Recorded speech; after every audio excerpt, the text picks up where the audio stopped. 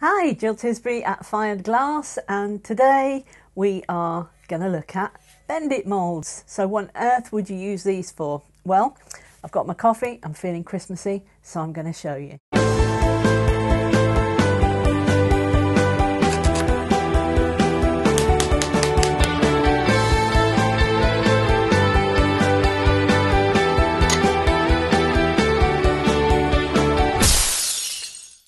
Right, so Bendit moulds then, what are they all about? So um, these are they.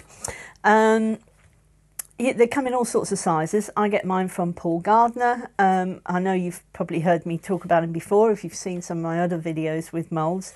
They come in all sorts of sizes. Um, we call them Bendits. I'm not sure what everyone else calls them. Um, but these are ideal for making um, the little stand-up pieces that look like this. So here we go. Some we made earlier. Let me just make sure I don't drop these. So this, this and this are all made with those moulds. Um, you can see I've got some much smaller moulds and this one is actually made on this tall mould. Um, so that's what we're going to make today. Um, I love doing these because it uses up all the scrap glass um, we make little hanging trees, we make wreaths, but these go really well at our craft fairs. And these, um, made in exactly the same way, particularly this one over here. Um, this one, however, let me just move these, ooh, move these out of the way. This one is made with our twisties. So this is before it's um, slumped. Um, and when we pull our Vitrigraph at the end of it, we, we get quite a few twisties. Um, so we create little trees that look like this. All of those you can do with the Bendit mould. So let's get started, eh? Okay, so we've got our mould here. Um, this um, has been coated with boron nitride. Um, some people just don't bother coating them with anything. Some people like to use kiln wash. I find that boron nitride works for me. I've tried do, using metal moulds without anything on, um, and uh, whatever for whatever reason, um, I am not successful with them that way. So boron nitride, just need to paint it on. Don't spray it because you'll you'll waste um, a lot of this stuff and it's expensive. If you want to learn how to coat these molds, then there's another video. We'll stick the link up here. Um, but there's another video that we've done that shows you exactly how to do this um, and how to use it. Right, so got our mould, got it all prepped. So how do we know what size glass to use on this? Um, you can see um, with this mould here, we need to understand um, this length and this length. It's really not difficult at all. If I turn that mould round so that you can actually see, these pieces of glass that I've got here are probably all scraps from when I have been making um, waves or curves. So there's quite long pieces um, that we can chop down. The width itself doesn't really seem to matter. Those smaller bendits that I showed you, a lot of people are using those for table settings. So um, I've got some pieces here. Um, this one looks like a, a, really good candidate. It's just a normal piece of Tekta. Um, looks like it's about 10 centimetres wide, something like that. And if you pop that on there, you can see that actually fits quite well. Normally I'd be saying that you want to chop some um, off the end, so let's just pop this one on and see what that looks like. In fact, that one I wouldn't even bother chopping either, but um, this looks about perfect to be honest. What you want to make sure of is that this bit here, the overhang obviously is not longer than the depth of this. Um, so I don't know what the depth is. Let's have a quick look with the ruler. Get the centimetres. So the depth on here is 10 centimetres and what we've got here is in a six and a half centimetre overhang. Absolutely perfect. So, got your glass. Obviously it needs to be um, either as wide as your Bendit mould or just uh, narrower like this piece is. Um, your um, glass obviously is smooth on one side, rough on the other if you're using Tekta. Um, so I tend to work on the smooth side just because it's easier to glue stuff down.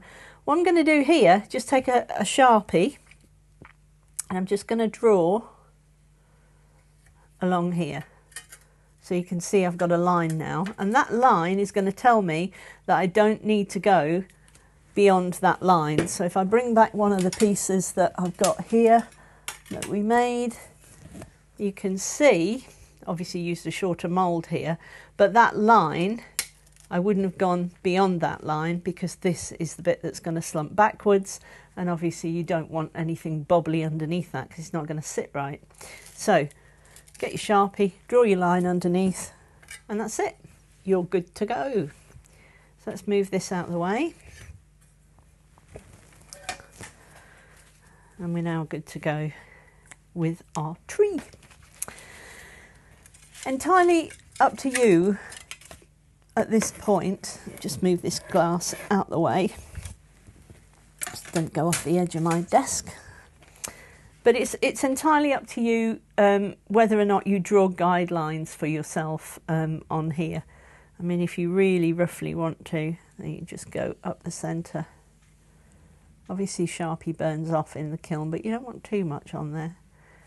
Straight the way back down, and that might keep you on track with um, your shape. So we're aiming for this sort of Christmas tree shape, like this. I'm going to do it with some green. Um, I like the blue, it looks lovely, but I've actually got some green shards here that I've chopped up. Um, so this is all um, scrap glass really, where maybe I've cut out some um, stuff when I've been making Murrini, um, but I use these. So these are my uh, mosaic clippers, and uh, as long as you use them wheel side up, that bit down, you can see it's quite easy. You just get them in between there, give them a, a squeeze and you actually cut a few shards off, um, you know, your scrap glass.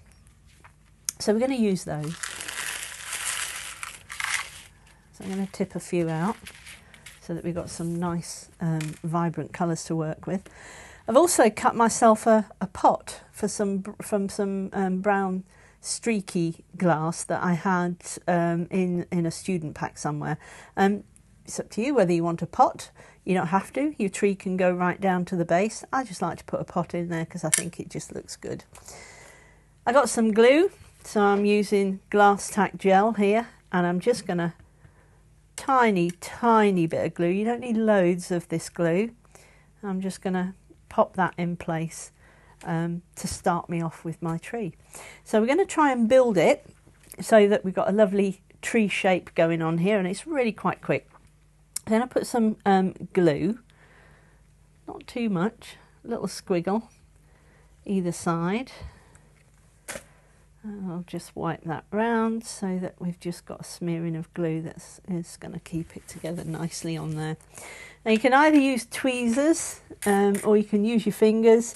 Either way, I've got a nice mixture here when you have a look at this of um, opal glasses and uh, some transparent glasses. So it's all um, spare stuff. So I'm, I'm not going to go through, you know, the colours that we've got because it's whatever you've got to hand, really. So what we're going to do is start to build outwards. So if you think about a tree, it's sort of going to go out this way like this. So we've got some gentle curves going out from the top to the bottom. And it's just a case of you mixing up the colours and mixing up so that you've got something that's pleasing to the eye. I want another big piece, biggish piece. There we go. Of green on here, I think, at the bottom. I think it's easier with my fingers.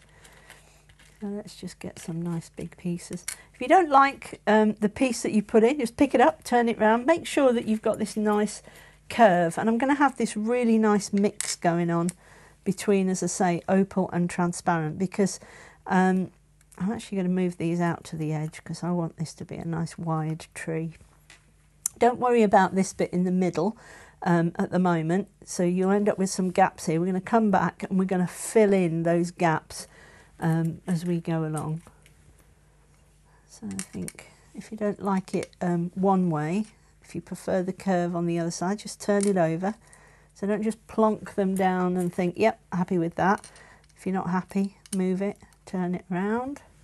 This um, really does help if you do this little triangle on here because then it keeps you sort of from straying in terms of shape.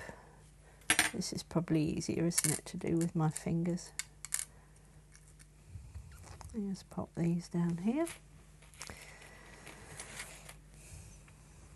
I could sing you Christmas carols, couldn't I, while I'm doing this? Perhaps not, eh? Oh, I like that that way. There we go. Nice curve there. Let's put some more green in.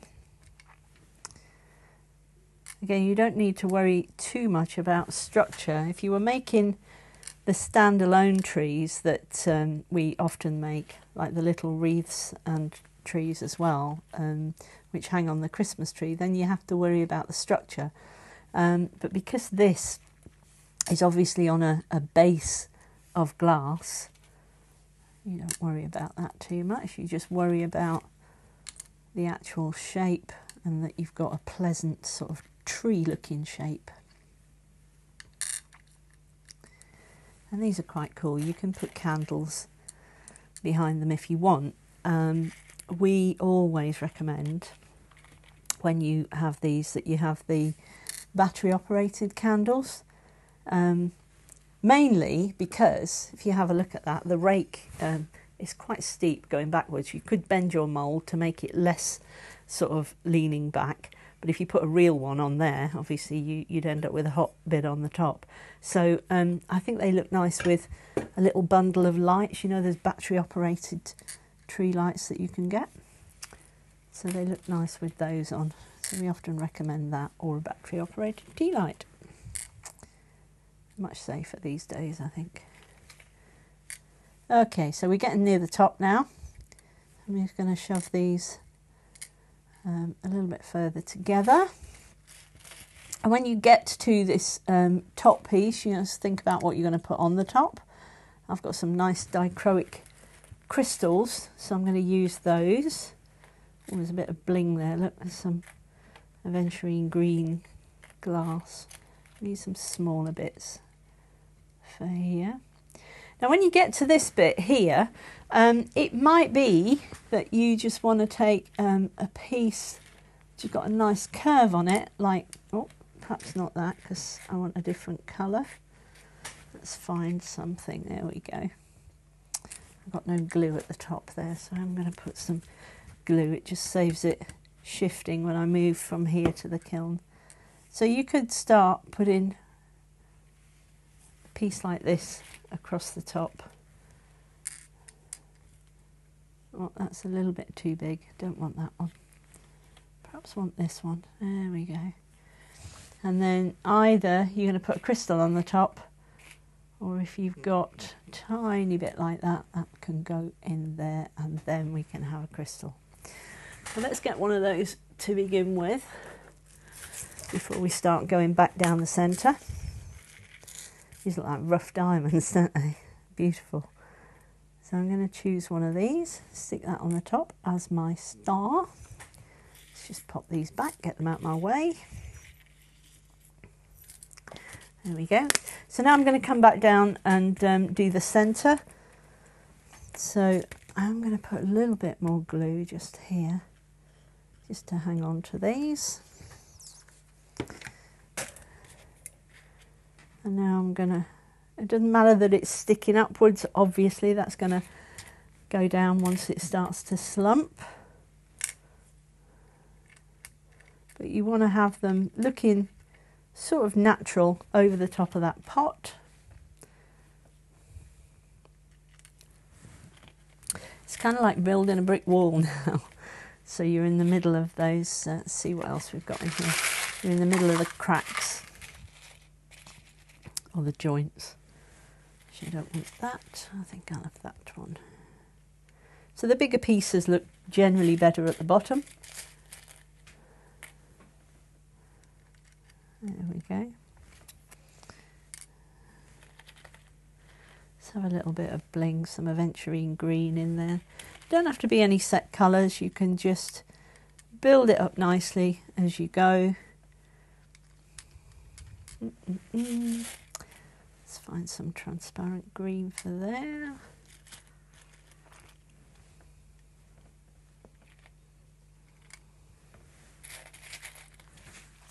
Beautiful colours in here. I love these transparent ones because they're really sort of jewel bright colours, aren't they?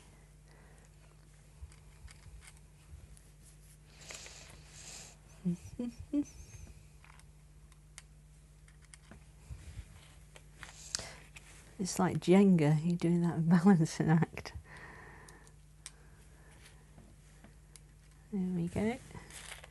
I like doing it this way because um, I like the effect that you get with the uh, the pieces pointing downwards.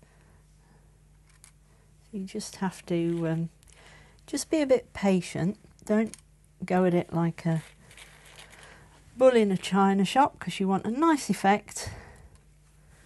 So just take the time.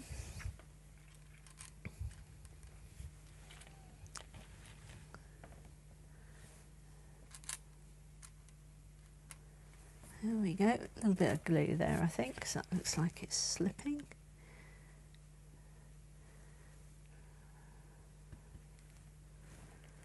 There we go. That just stops it from jumping.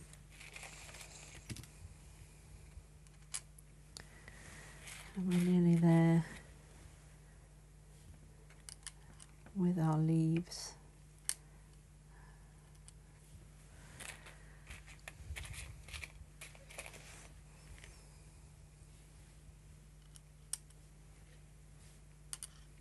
It's like doing a jigsaw puzzle without the box.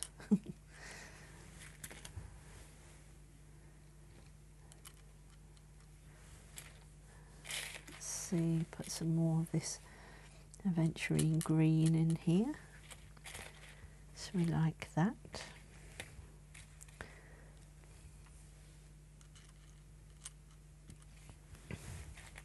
Okay.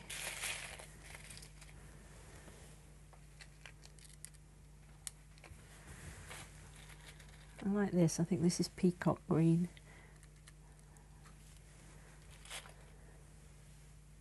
Or might peacock blue. Okay, I think let's put some on top of here. This is probably my last piece to go in.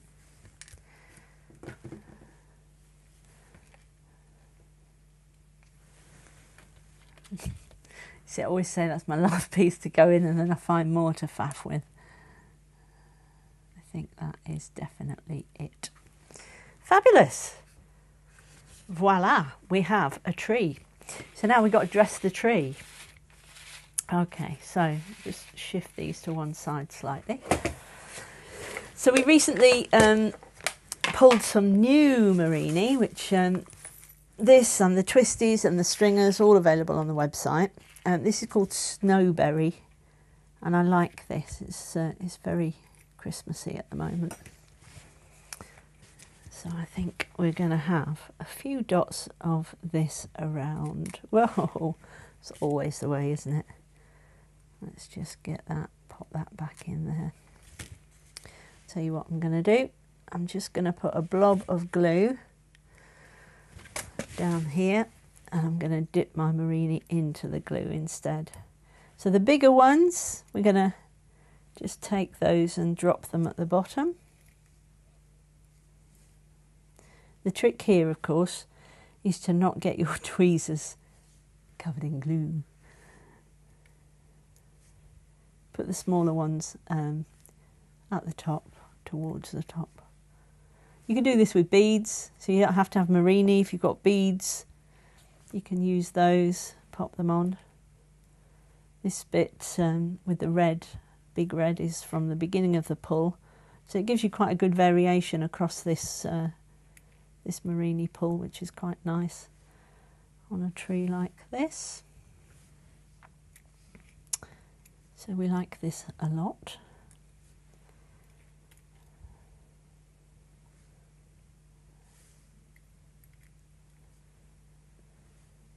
See, it all goes quiet when I'm concentrating about where I'm going to put things. Let me dig out some bigger ones. Oh yeah, shift him a little bit. I don't think he wants to shift. Now the thing about this pull, I'm just going to dig around a bit here, is that we get pieces like this, um, which you're not going to see until I put it on. So let me pop that onto a piece and you might be able to pick this up. But this um, looks like a little star, a little white star, and this is um, where the centre of it had um, sort of gone through the pot, and we ended up with this added bonus of these little white stars on there.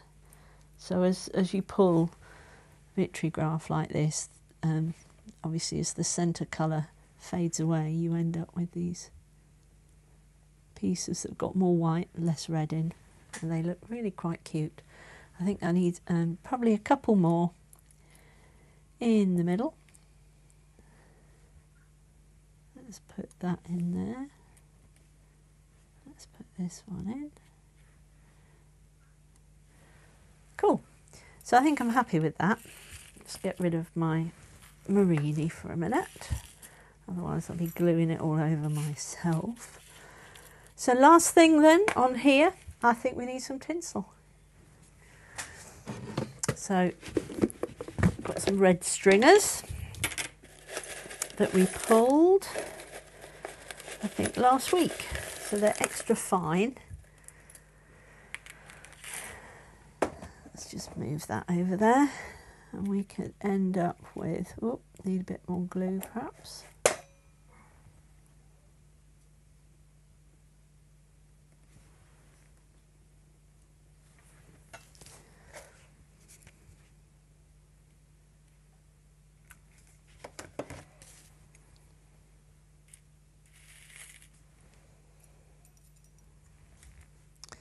That looks like it might be a nice curve. I'm just going to dip either end in the glue and just make sure it uh, it sits down there.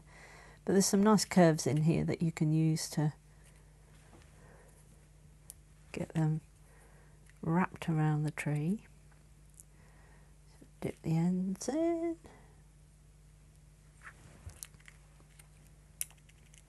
Mm, longer bit.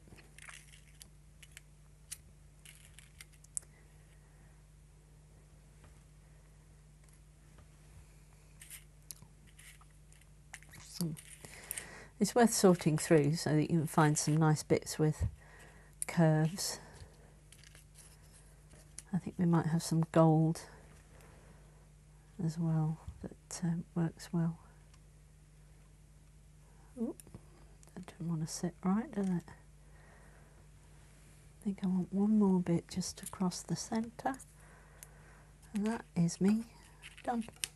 Oh, I've just broken it not what I want to do. Let's get a nice curvy bit. There we go. So I want that to be a little bit longer. There we go. Lovely. Just shift that over and I think that is me done. Fabulous. So quick and easy. Um, we're going to fire that on a tack fuse, so I'll give you the schedule. Um, and then once we've done it on a tack fuse, I'm going to slump it. Um, my slumping schedule in my kiln, um, I go a little bit hotter than the standard um, schedule that I know is on the bullseye um, schedules, but we will show you the schedule. If you find it's not as slumped as you want, then just increase that top temperature. I go to um, 670 degrees centigrade, I think, with mine, but we'll put that information on uh, with the schedule and we'll also put it in the uh, information below. But there you go, that is my Bend It Christmas tree using glass shards um, of scrap glass and a little bit of Murrini and uh, tinsel, which is um, red stringers. Hope you enjoyed that. Um, like, comment, subscribe, tell us what you think, and um, hope to see your Christmas trees when we uh, when we get back into the groups on Facebook. Take care. Bye.